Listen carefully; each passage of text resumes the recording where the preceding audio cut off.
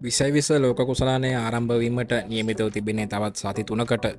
ආසන්න කාලයක් තින් ජුනි දෙවනිද ඇමරික එක්සත් ජනපදය සහ බටහිරින්දිය කුදෙව් දූපත්තුල සත්කාරකත්වයෙන් පවත්වන මෙවර විස්සවිස්ස ලෝක කුසලානය ජයග්‍රහණය කරන්නේ කවුද යන්න පිළිබඳ විධ අනාවැකි පල කල තිබෙන විශේෂම ක්‍රිකට් විස්තර විචාරකින් ක්‍රීඩකයින් හිටපු ක්‍රීඩකින් ජෝතිශ්‍යවේදී ඉතින් ඔවුන්ගේ අදහස් සමාජ මාධ්‍ය ජාලාවල මේ දිනවල ඉතා වේගෙන් වෛරල්ලෙනවා ඉතින් ඔය අතරතුර තමයි බංගලාදේශයේ වත්මන් ක්‍රිකට් විස්තර විචාරගෙක් වන අතර අලිකාන් එළබෙන ලෝක කුසලානය අවසම් පූර වටයට එන කණ්ඩායම් හතර කෞද කිය ලහු අනාවැකයක් පල කරලා තිබෙනව. තින්ගේ අනාවකයට අනුව ඔහු ප්‍රකාශ කරලා තිබෙන්නේ එළබෙන විසය විස ලෝක කුසලානේ අවසන් පූර වටය සඳහා ඉන්දියාව එංගලන්තය දකුණ අප්‍රිකාව සහ බංගලාදේශය පැමිණෙන බවයි.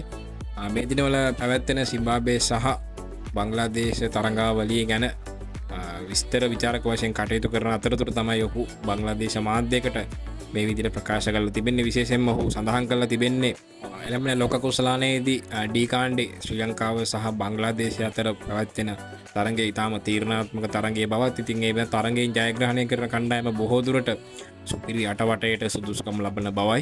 ඉතින් ඒවගේ හෝ කියල තිබ විශේෂම ශ්‍රී ලංකාවේ පන්දියවන්නන්ගේ බලනයේ ශක්තිමත් වනත් පිතිකරුවන් ඉතා දුරල බවත් බංගලදේශය සතුව ශ්‍රී ලංකා කණ්ඩෑමේ සිටින පිතිකරුවන් පාලනය කළ හැකි පන්දයවන්න සිටින බව වැඩිදුරට ප්‍රකාශ කරලා තිබුණ. ඉතින් ඔහු කියන්නේ එළබෙන කැනෙ සුපිරි අටවටයට බොහෝවිට ඩීකාන්ඩෙක් ශ්‍රී ලංකාව ඉවත් වී දකුණ අප්‍රිකාව සහ බංගලාදේශ කණ්ඩෑම සුදුසුකන් ලබාගනය කෙලිතින් ඩීකාන්ඩෙන් ශ්‍රී ලංකාව දකුණ අප්‍රිකාව බංගලාදේශයට අමතරව මෙදර්ලන්තේ සහ නේපාලය ක්‍රීඩා කරනවා. ඉතිං වැඩිම ලොකුම තරගයක් තිබෙන තරගේ වන්නේ බංගලදේශය සහ ශ්‍රී ලංකාව අතර.